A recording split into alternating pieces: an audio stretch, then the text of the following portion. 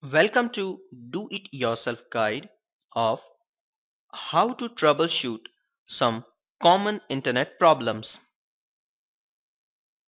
Pop-up troubles.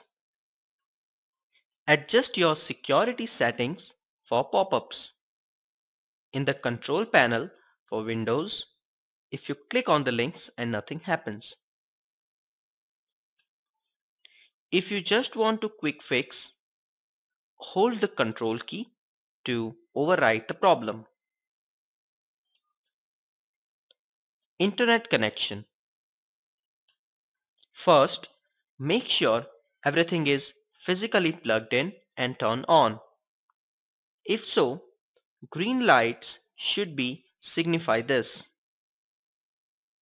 Check the modem you have connected to.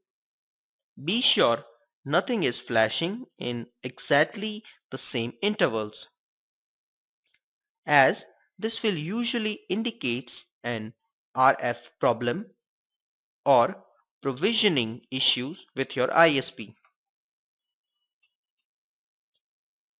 Check your network connections under control panel for Windows XP and other Windows operating systems and note the local area connection says connected.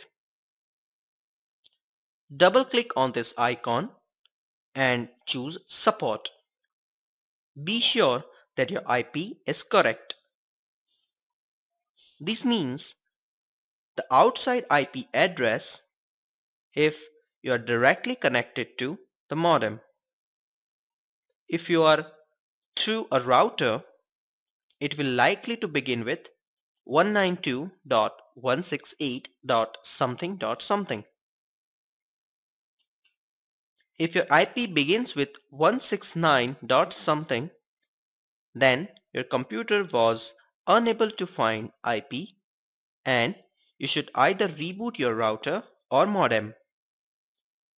This continues contact from your ISP. Speed loss. Remove any unused or rarely used programs. This can be done via control panel using add or remove program button in Windows operating systems. Check your computer for viruses and spyware. Both can serve drain your computer